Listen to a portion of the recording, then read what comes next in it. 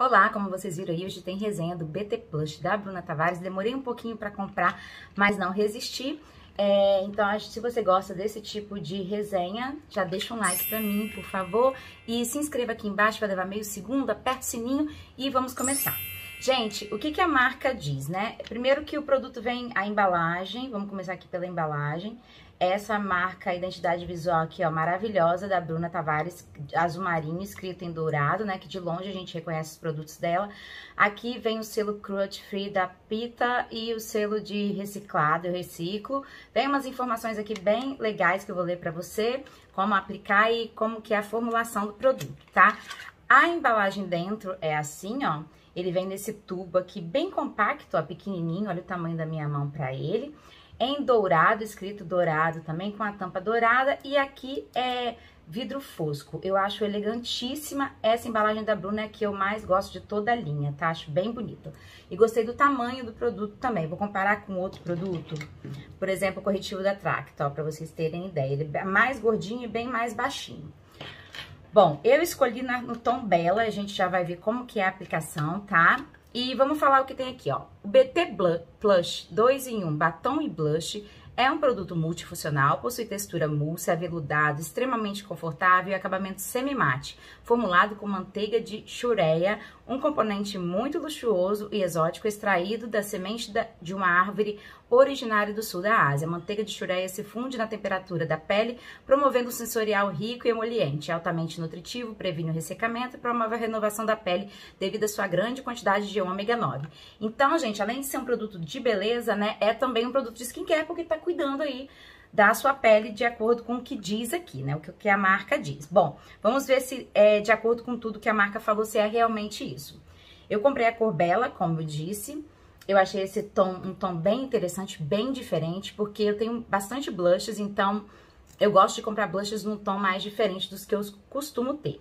Vem esse aplicador bem gordão aqui, ó, pequenininho, que a gente vai ver se ele é legal, ó, chanfrado, cortadinho assim de lado. Vou aplicar aqui para vocês verem textura e cor, tá? Eu fiz swatch, eu não usei esse produto ainda, eu queria usar aqui em vídeo para ter as primeiras impressões aqui e fazer a resenha com vocês. Ele tem uma textura bem aveludada, tá? E bem sequinha, assim, ele não é muito líquido, ele é mais firme, vocês viram que ele não escorre. Ele é muito pigmentado. Esse tom é um tom mais neutro, tá?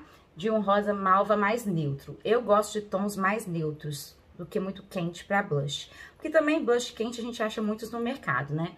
Vou esfumar aqui para vocês verem, ó. É um produto que esfuma super fácil, ele praticamente se esfuma sozinho. Pelo menos aqui na mão, né? Aí nós vamos ver na hora da aplicação como é que ele vai se comportar. Então, eu preparei minha pele, passei base, corretivo, fiz sobrancelha, não selei a pele, porque eu quero selar aqui com vocês. O que, que eu pensei em fazer? Em um lado eu vou passar o blush com a pele selada, porque eu sei que muita gente gosta de aplicar o blush depois de selado. E de um lado eu vou passar sem selar a pele, que é o que eu prefiro, tá? Pra selar a pele eu vou usar esse aqui, ó, o Pore Solto Skin Perfection da Eudora. Vou pegar um pouco aqui. Vou passar o lado selado desse lado, que é o meu lado direito. Não sei se pra vocês aí é o lado direito na câmera. Não fiz contorno pra gente ver a cor exata do blush. Depois eu vou fazer contorno pra terminar a make, tá? Então, passei aqui, ó, pele tá selada e desse lado não tá selado. Lembrando que eu passei um BB Cream com uma base hidratante, então não é uma base seca. Vamos ver se ela não retira a base, tá? Olha, aqui na mão ele começou a secar, mas não secou totalmente. Eu não sei se ele seca totalmente, a gente vai ver. E aí ele vai secando e vai ficando aveludado, mas ele tem uma, um certo brilho que não é cintilância. É um brilho, é uma certa cintilância, mas bem sem partículas de brilho, bem longe, tá? Então, de um lado eu vou aplicar com pincel, eu vou usar esse Duo Fiber aqui, eu gosto bastante do Duo Fiber, mas eu gosto mais ainda de um pincel fofão assim, ó. Só que eu sei que muitas pessoas aplicam com Duo Fiber, eu vou usar o Duo Fiber de um lado, do outro eu vou usar a esponja. Vou aplicar direto na bochecha, mas eu acho melhor quem não aplicar primeiro na mão, tá? E depois é, é, passar na mão para depois vir na bochecha, porque a gente não sabe a pigmentação. E ele parece muito pigmentado. Pronto, apliquei. Lembrando que esse lado aqui tá selado, tá? Ó, no lado selado, ele não pigmenta assim, pigmenta, mas não é aquele aquele pá de pigmentação, não. Dá pra você controlar. Ó, mas eu acho que ele tirou um pouquinho do pó. Não necessariamente da base. Mas vamos ver como é que vai ficar no final. Vou dar mais um pouquinho, porque eu achei que ficou muito clarinho. Quero que vocês vejam a cor, tá? Vai ficar um pouco chinelada, mas é porque eu quero que vocês tenham noção da cor. Ó, eu consigo construir camada, então eu consigo deixar ele menos pigmentado colocando pouco, né? A maioria dos blushes cremosos, líquidos, é assim. Eu vou dosando pela quantidade de produto que eu uso. Eu achei bem fácil de esfumar, gente. Bem fácil mesmo, me surpreendeu. Porque blush líquido não é muito fácil de trabalhar, né? Se bem que ele não tem uma fórmula muito fluida, como vocês viram. Ele é mais consistentezinho. Pronto, é uma cor é, mais fria mesmo, como eu disse, eu gosto bastante. Ficou, né, muito marcado. Depois eu vir com a esponja pra diminuir essa marcação. Desse outro lado, eu vou passar com a esponja da Nina. Vou passar primeiro na mão e vou pegar na mão. E da mão vou vir pro rosto, tá? A esponja da Nina Vou vir aqui, ó. Do lado que não tá selado.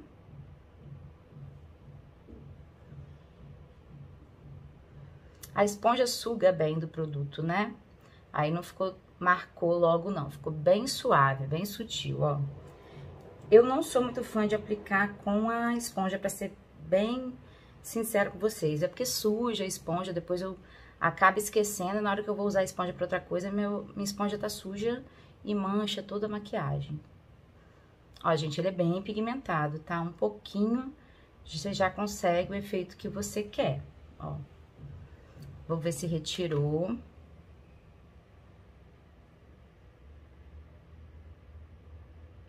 Eu vou botar mais uma camada, porque eu tô achando muito transparente, eu não consigo avaliar se retirou realmente ou se é só a transparência. Não, não retirou não, gente. Só que aí eu fiquei super marcada, né? Vou dar um jeito nisso, vou voltar com o lado onde tem um pouquinho de base e vou bater aqui. Vamos ver se ele aceita também isso. Ó, ficou super de boa. Eu vim retocando com o resto de base da esponja para tirar essa marcação, para ele ficar menos, menos pigmentado, tá? E ele de deixa uma certa cintilância, assim, bem bonita, tá? São partículas de brilho, mas muito, muito finas, né? Vou chegar aí mais de perto pra vocês verem. Me diz aí o que, que vocês acharam da cor, da textura. Se vocês gostam desse acabamento, se vocês acabam selando. Então, vamos ver se eles funcionam nos olhos. Vou passar um pouquinho aqui diretamente na pálpebra. Vou pegar um pincelzinho assim, ó, de cerdas sintéticas. Esse aqui, ai, é da Macrilan, acho que é o A11.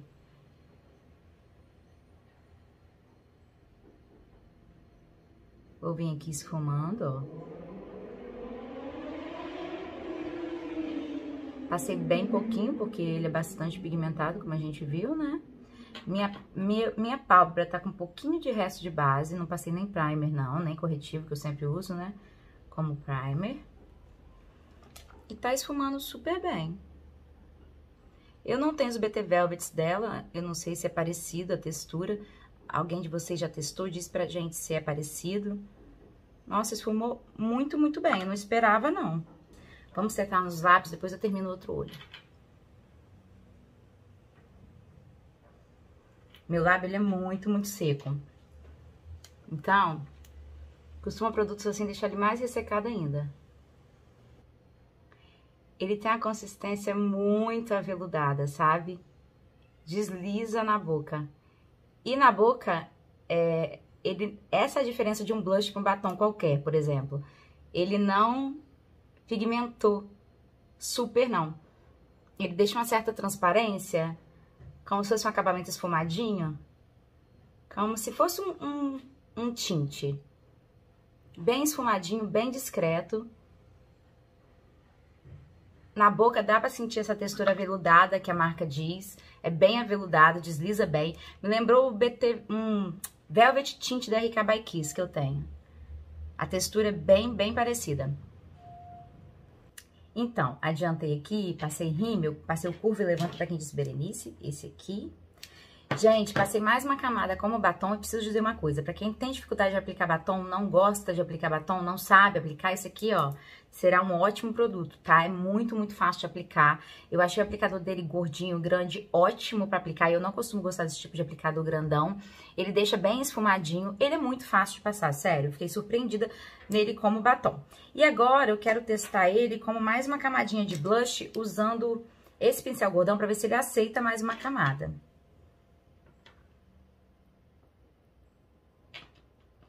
E vou voltar a ficar chinelada, né? Mas eu preciso fazer os testes aqui pra dizer pra vocês. Olha, aceitou mais uma camada, sem problema algum. Vou passar do outro lado aqui pra não ficar muito diferente, né? E vou passar também na parte, na pálpebra inferior, pra dar um acabamento aqui pra make, ó. Vou diminuir aqui a intensidade, passando a esponja, como eu tinha dito. E vou passar um pouquinho com um pincelzinho assim, ó, de esfumar bem pequenininho, abaixo dos olhos.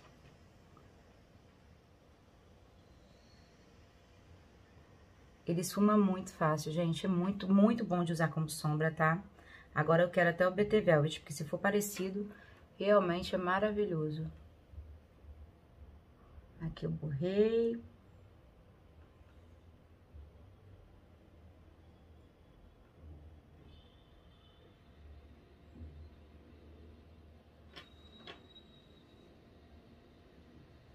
Pronto. Peguei para comparar com vocês o que eu falei, o Velvet Tint da RK by Kiss. Esse daqui vem com 3,5 gramas de produto, ou seja, praticamente metade, custa em torno de 26 reais. Mas é uma opção para quem não quer gastar 50 comprando esse daqui da Bruna, porque comparando eles têm o mesmo preço, já que esse tem o dobro da quantidade, apesar do dobro do preço, tá? Vou te mostrar a textura desse aqui, esse Velvet Tint da by Kiss, que inclusive eu uso muito mais como blush do que como tint. Ó, vou passar aqui. Ele é um pouco menos cremoso que o da Bruna. Mas olha, vocês estão vendo como que ele esfuma? Ele esfuma muito bem, muito facilmente. Me lembrou muito esse aqui da Bruna, tá? O desempenho é bem parecido. Inclusive, nos lábios ele é ótimo também. Ele fica aveludado, ele fica sequinho, tá? É, ele não tem brilho, tá? Só esse, esse cremosidade do, do, produto líquido mesmo, né? Essa cintilância de ser mais molhadinho, mas ele é um produto excelente. Essa cor é o Soft Coral, que inclusive muitas pessoas, agrada muitas pessoas, né? Essa cor mais até do que essa que eu escolhi da Bruna. Então, ele fica bem bonito. Então, é opção aí para quem também não quiser investir o valor no da Bruna Tavares. Então, gente, obrigada por ter assistido até aqui. Me diz o que, se você gostou, o que, que você achou do cenário diferente, se a luz tá boa. Até o próximo vídeo. Tchau!